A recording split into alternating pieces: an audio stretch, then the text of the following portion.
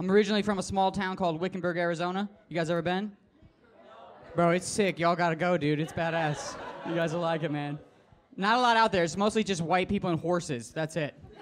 That's it. And they're racist. Everybody's racist out there. Wickenburg, Arizona just sounds racist. Am I right? That doesn't sound good at all.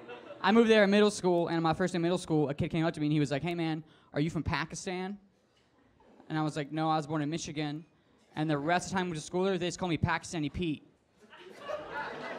I was like, That's gotta be racist, you know? That's gotta be bad. I got a hand one time, this kid from Israel moved to my school, and all my friends came up to me and they were like, Yo, bro, are you gonna fight him?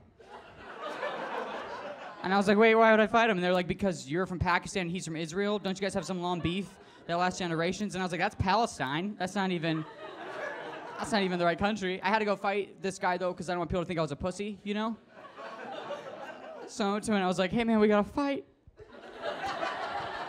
And he was like, how come? And I was like, because I'm from Pakistan. and I was like, you're from Israel, square up, dog. And he was like, bro, I was born in Iowa. And I was like, ah, fuck, bro. My bad.